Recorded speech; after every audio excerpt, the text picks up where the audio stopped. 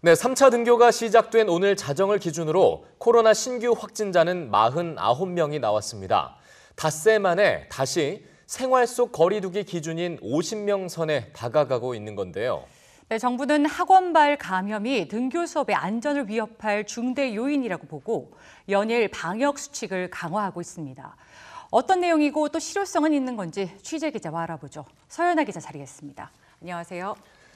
네, 어서 오시죠. 자, 뭐 저희도 어제 그제 계속해서 보도를 해드리고 있습니다만 이 학원발 감염 상황이 심상치가 않습니다. 실제 상황이 지금 어느 정도로 심각한 겁니까?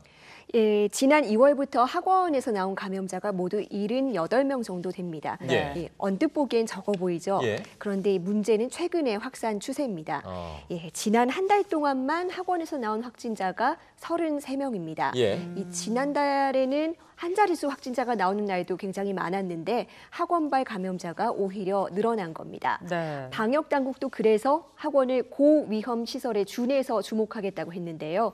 이 최근에 계속 점검을 하고 있는데 뚜껑을 열어보니까 상황이 더 심각했습니다.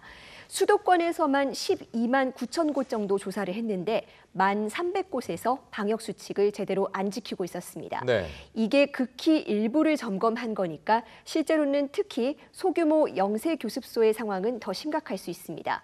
또 학원은 3밀이라고 해서 밀접, 밀폐, 밀집 다 해당이 되는 시설이고요.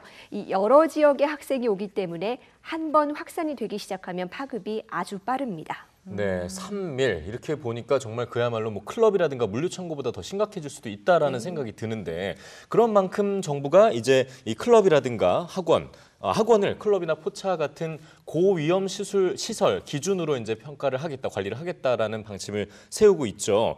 아, 어제 특별 점검에 이어서 오늘은 또 방역 대책을 새로 내놨어요.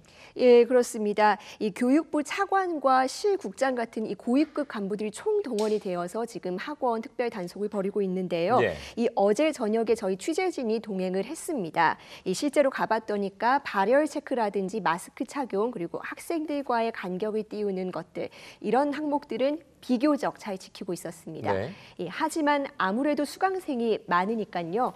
출입 명부를 제대로 작성하는 곳- 하지 않는 곳이 있어서 교육부가 QR 코드를 활용한 출석 체크 시스템 도입을 검토하고 있습니다. 이 오늘 추가된 방역 대책은 학원법 자체를 개정해서 제재할 근거를 마련하겠다는 겁니다. 예. 이 방역 수칙을 제대로 지키지 않으면요, 뭐 벌금을 부과하든 시설 폐쇄를 하든 뭔가를 규제할 수 있어야 학원들도 더 성의를 보일 텐데요. 이 지금까지는 보건복지부 장관이나 시도지사들만 이런 것들을 할 수 있었고 교육부나 교육감들은 이런 권한이 없었습니다. 네. 예, 그래서 어제 특별 점검도 사실 마찬가지지만 좀 잘 해달라 이렇게 권고를 하는 것 외에는 마땅한 방법이 없었어요. 그런데 이제 법의 힘을 빌려서 강력히 규제를 해보겠다는 겁니다. 음, 네. 뭐 학파라치라도 필요한 거 아닌가라고 생각했는데 학원법 자체를 바꾸는군요. 그렇습니다. 네. 예. 지금 사실 취재진이 동행했던 어제 학원만 봐도 대형 학원처럼 보이거든요. 이렇게 법의 힘으로 규제할 수 있는 방법이 마땅히 없다 보니까 학부모의 시각에서는 선뜻 좀 납득이 되지 않는 부분들이 있습니다.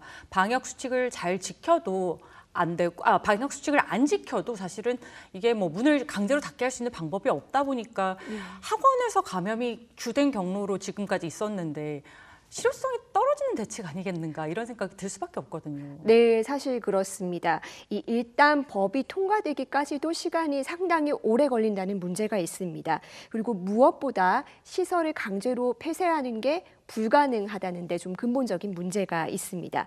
이 지금 할 수 있는 건요. 고발을 해서 벌금을 물리고 일시적으로 문을 닫은 채 소독과 방역에 집중하도록 유도하는 정도인데요. 이 위반이 심각해도 강제 휴원에 들어가기가 어렵습니다. 이또 인력에 대한 계획도 뚜렷하지가 않은데요. 지금은 학원을 점검하고 단속해서 제재를 부과할 수 있는 인력이요. 이 사교육 1번지인 강남 서초 지역에도 10명이 채 안 됩니다. 네. 불법 사교육이나 심야 교습 같은 이 고질적인 문제들도 인력 부족 때문에 제대로 안 되고 있는데 이 방역이나 보건에 대한 부분까지 관리할 수 있겠느냐 이 현장에서 회의적인 반응이 나오고 있습니다. 교육부는 그래서 현재로서 가장 중요한 것은 이 학생들이 자발적으로 학원에 안 가는 거라고 당부를 하고 있습니다. 적어도 방역 당국이 발표한 14일까지는 다중 이용 시설을 포함해서 수도권 지역의 경우 학원 이용을 자제해 달라는 겁니다. 음, 요컨대 개인이 알아서 조심해라 이 소리밖에 안 그렇습니다. 되겠네요. 네. 네, 오늘 3차 등교도 있었는데 등교 수업 현황 한번 살펴보죠. 이제 77%의 학생들이 등교 대상이 됐습니다. 고3을 제외하고 적어도 일주일에 한두 번은 학생들이 이제 등교를 하게 되는 건데 여전히 감염 우려로 문 닫는 학교가 500곳이 넘는다고요. 예, 역시 수도권이 문제입니다. 이 오늘 오전 10시 기준으로 이 집계된 통계 한번 같이 보시겠습니다. 예, 등교를 연기하거나 중단한 학교가 519곳이었는데요. 이 단 세 곳을 제외하고는 그 99.4% 정도입니다. 전부 서울과 경기, 인천 지역에 집중이 돼 있습니다. 그래도 반가운 소식이 있다면 등교 중지 학교는 꾸준히 줄어들고 있다는 겁니다. 이 지난 5월 28일 2차 등교 다음 날이죠. 838개 학교가 문을 닫았었는데요. 지난 월요일엔 200곳, 오늘은 또 100곳 정도가 더 줄어들었습니다.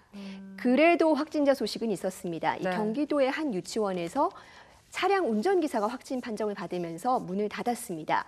이 쿠팡 물류센터 발 감염 때문에 원격 수업으로 전환이 됐던 인천 부평과 계양구 학교들은 아직도 좀 안심하기가 이르다고 보고 오는 10 10일까지 등교 중지를 연장했습니다. 예.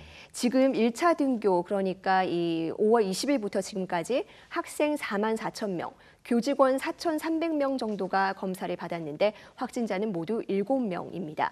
이 모두 학교 바깥에서 감염이 됐던 것이고 학교를 통한 집단 감염은 다행히 일어나지 않았습니다. 네. 지금 뭐 전체적으로 좀 혼란스러운 부분도 있어 보입니다만 그래도 안정세가 좀 이어지고 있구나, 안정세로 돌아가고 있구나라는 느낌은 좀 듭니다. 아, 하지만 우리가 아직도 해결해야 할 과제들이 많이 남아 있죠. 예, 일단 인력 문제입니다. 이 정부가 학교 방역을 도와주라고 그 보조 인력 보조 인력을 3만, 3만 명 정도 투입하기로 네. 했습니다. 네. 그런데 이 지역별로 편차가 굉장히 큽니다. 음. 이 대전은 학교당 5명, 세종은 4명 정도 되는데 전남은 0.5명, 경북은 0.2명, 학교당 한 명도 지원을 못 받고 있습니다. 그리고 지금 투- 수도권 상황이 심각하잖아요. 네. 이 그런데 경기도가 지원 인력을 학교당 이제 평균 한 명 정도밖에 못 받고 있습니다. 아, 평균이니까 한 명도 못 받는 학교도 굉장히 있을 수 있다는 겁니다. 지급이 적네요. 예, 네. 그렇습니다. 예. 특히 경기도는요, 신도시 중심으로 과밀 학급이 상당히 많습니다. 네. 이 방역과 교육 전부를 책임져야 하는 조- 교직원들의 부담이 굉장히 큰 상황인데요. 이 또 의심 증상이 있는 학생들은 119 구급대에 도움을 받도록 했는데 이 경우엔 도서 지역 특히 구급 인력이 부족한 지역을 중심으로 공백이 있다고 합니다. 이 현재로선 최대한 학부모 참여를 이끌어낸다는 계획인데 맞벌이 가정도 있고요. 조손 가정이라든지 또 자동차 이동 수단이 없는 가정도 있을 수 있잖아요. 네. 그래서 좀 세심한 지원이 더 필요하겠고요. 정부의 노력도 중요하겠지만 지금 상황에서는 가정에서 좀 우리 학생들 위생 교육을 잘 시켜 주시고 학교의 방역 수칙에 최대한 협조할 수 있도록 좀 지도해 주시는 것이 중요하다고 하겠습니다. 네. 네. 뭐 정부는 정부대로 개인은 개인대로 쌍방향으로 유기적으로 좀 안전을 위해서 노력을 해야 될 것 같습니다. 네, 서연아 기자 잘 들었습니다.